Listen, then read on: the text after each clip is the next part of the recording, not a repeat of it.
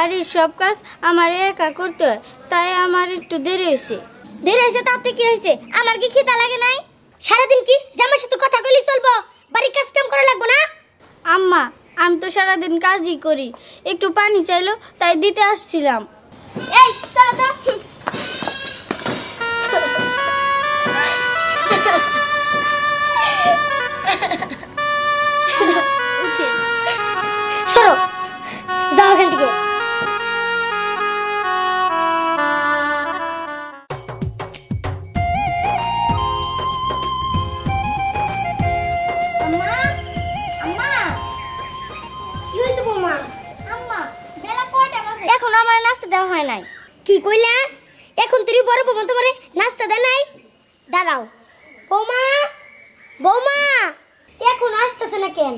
কোন জায়গায় যে গেছে?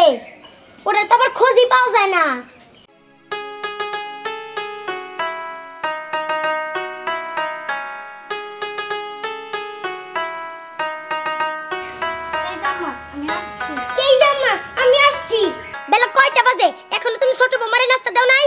বাড়ির সব কাজ আমার একা করতে হয় তাই আমার একটু দেরি হয়েছে।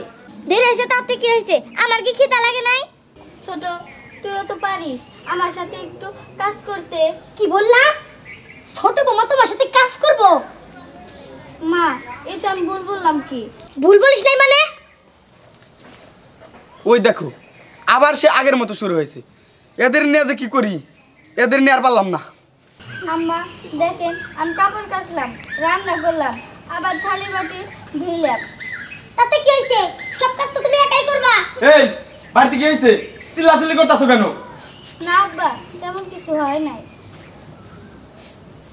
এই তুমি এত সব সময় নাক গলাও কেন হ্যাঁ? বেলা কয়টা বাজে খেয়াল আছে? তোমার ছোট বৌমার ঘরে এখনও বড় বৌমা নাস্তা দে নাই। এই যে শোনো আমি যেটুক দেখি বড় বৌমাই খালি কাজ করে একা কাজ করে। একা কাজ করে তো কাম সারতে পারে না। কেন? ছোট বৌমা কি বড় বৌমার সাথে কাজ করতে পারে না? তোমার বাপ মতো তুমি এর সংসার চালাও। আমার এই অশান্তি আর ভালো লাগে না। হ হ দাও মাঝখানে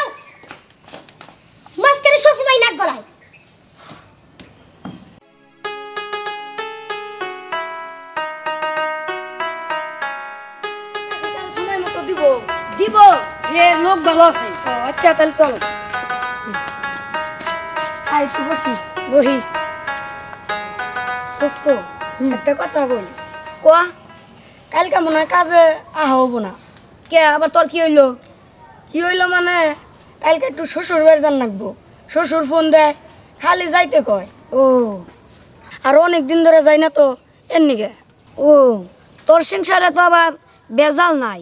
তোর যখন মন চাই তুই তখনও যাইতে পারবি। আমার সংসারে তো মনে কর, আমার বউ কাজ কাম কইরাই সারা পারে না। তার জন্য আমি তো যাইতে পারি না, বুঝছা কি? মার জ্বালায় তো আমি শ্বশুর বাড়িতেও যাইতে পারি না। মার মুখ ফেলে তাকাইলে আমার শ্বশুর বাড়ি যাওয়ার ভুলা যায়। আচ্ছা দোস্ত তাহলে কালকে আর আসা হবে না। কালকে শ্বশুর বাড়ি যাব তাহলে ভালো থাকিস। আচ্ছা দোস্ত তুইও ভালো থাকিস। আচ্ছা যাই। আচ্ছা দোস্ত যা ভালো থাকিস। আচ্ছা ঠিক মতো খাওয়া দাওয়া করিস। আচ্ছা।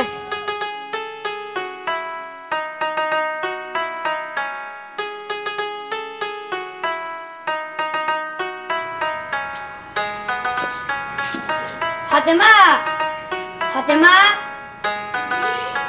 চল আসো আমার এক গ্লাস পানি দাও। ও আচ্ছা দিচ্ছি। হাইরে আমার কপাল বন্ধু বান্ধব সব শ্বশুর বাড়ি যায় আর আমি যাইতে পারি না। হাইরে আমার কাজ কাজ আর ফুরাইলো না। এ নাও তোমার পানি। আমার আমার কাজ আছে তাড়াতাড়ি খাও। আরে বসো সারাদিন হারি কাজ নেই ব্যস্ত থাকবা। না আম্মা বকবো। আরে বকবো না। সারাদিন তো কাজই করো একটু বসো এখানে। আচ্ছা যা কবা তাড়াতাড়ি কও।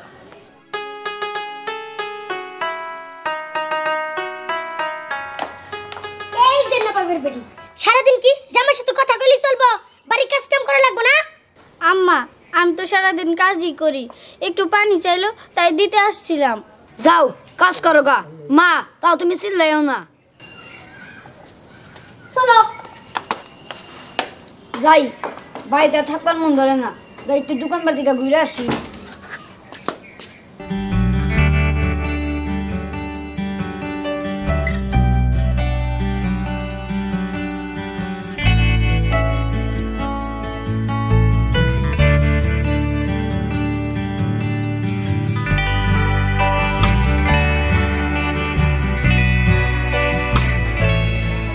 ছোট্টবেলায় এই বাসের সাঁকুটা দেখছি। এখন কত বড় হয়ে গেছি তাও দেখতেছি বাসের সাঁকু বাসেই রয়েছে।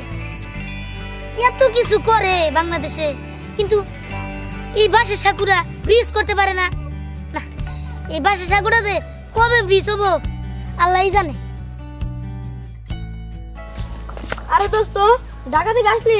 হ দোস্ত ঢাকা থেকে আসলাম। তা কেমন আছিস তুই? আমি ভালো আছি। তা তুই কেমন আছোস? হ্যাঁ ভালো। তাই এবার থাকবি কতদিন? আরে দোস্ত আমার কি সেই কপাল আছে? আজ আসছি কালকে চলে যাব। তাই এবার বুঝি ভাবিরে নিয়ে যাবি? হ ওই রকমই নিয়ত আছে। দেখি কি করা যায়। তা দোস্ত আমি বাসায় গেলাম তুই আসিস? আচ্ছা দোস্ত যা জামনি আচ্ছা।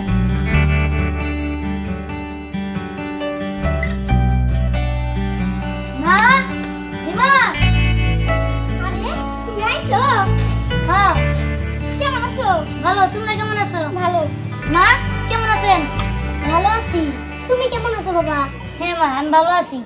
এই যে ভুলাই গেছি। তোমার দিয়ে বসতে দিমু মনেই নাই। চলো। নাও, ব্যাগ নাও, রাইখা দাও।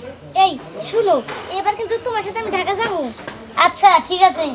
বৌমা, তোমার সাথে আমিও যাব।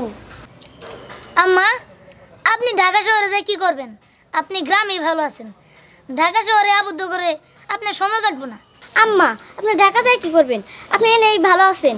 আর ঢাকা শহরে আবদ্ধ করে আপনার দিন কাটবো না। আচ্ছা ঠিক আছে। চল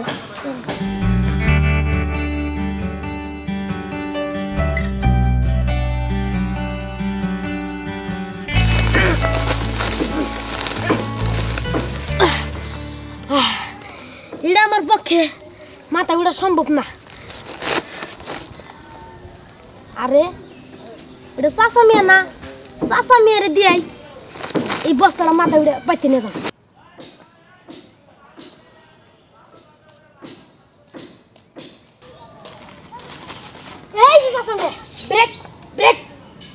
তুমি আমাকে কি বললে? আমাকে দেখে কি তোমার চাচা মেয়ে মনে হয়? আরে চাষা মেয়ে আবার চাচা মেয়ে বলে। কি হয়েছে? চেতন কে চাষা মেয়ে আবার চাচা মেয়ে বলে। কি হয়েছে? এটা তাড়াতাড়ি বলো। আরে চাষা মেয়ে আমার এই সিমেন্টের বস্তাটা আমার মাথায় একটু তুলে দেন। কি? সিমেন্টের বস্তা? তোমাকে আমি সিমেন্টের বস্তা তুলে দেবো? তোমার কি আমাকে দেখে মনে হয় আমি কাজের লোক? জানো তোমার মতো কাজের লোক আমার বাড়িতে চার পাঁচটা থাকে। অশিক্ষিত রবিশ। চাচা মেয়ে আমনের বাসায় কয়টা কাজের লোক আছে সেটা তো আমি জানি না। আমার এই সিমেন্টের বস্তাটা তুলে দিবেন নাকি? হেটা কোন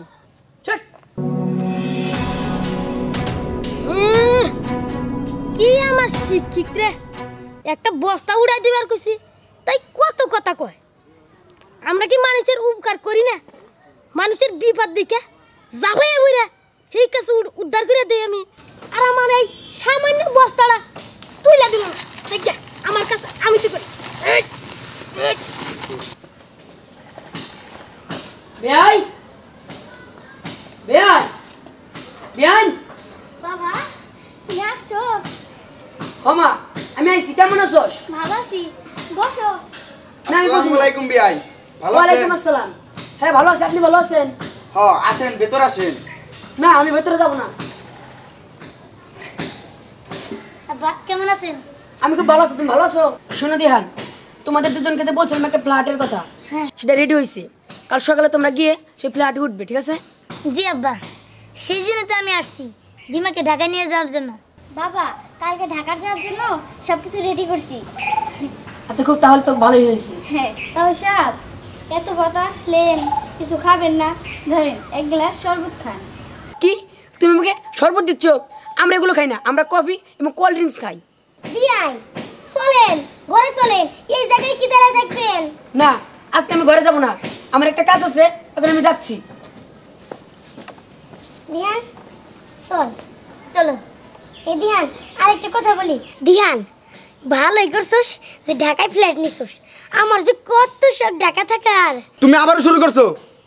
তোমার না কইছি বৌমার পোলার মাঝে তুমি যাবে না? ঢাকা যাবে কি শখ চুপ থাকো। তোমার না কইছি যে তুমি আমাদের মাঝে নাক গলাবো না তাও তোমার নাক না গলালে ভালো লাগে না এই চলো তো ঘরে চলো চলো হব মা চলো কথা কইতে কইতে গলা ব্যথা হয়ে থাকে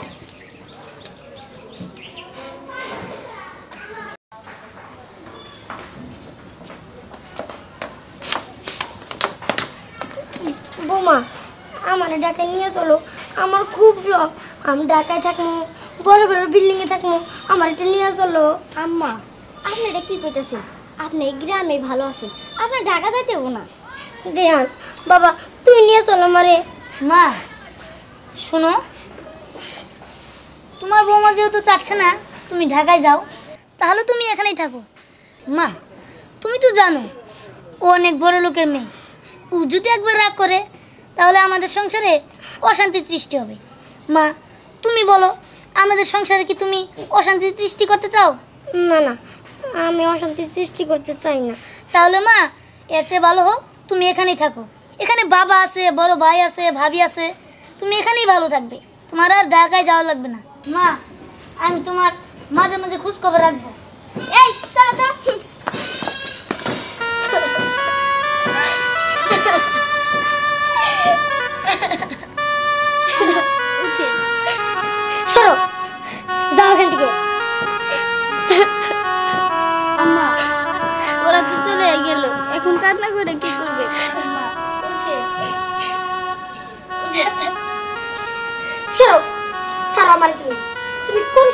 দোস্ত হ্যাঁ?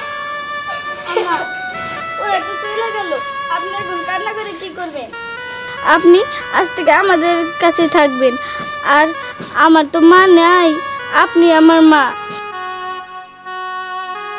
বৌমা যারে আমি এত কিছু দিলাম এত ভালোবাসলাম সে আজকে আমার ছেড়ে চলে গেল। কিন্তু তুমি বৌমা তোমার আমি এত কষ্ট দিছি এত কথা শোনাইছি তাও তুমি আমার আজকে বুকে ধরে নিছো। বৌমা তুমি শুধু আমার বৌমা না মা আমার বৌমা।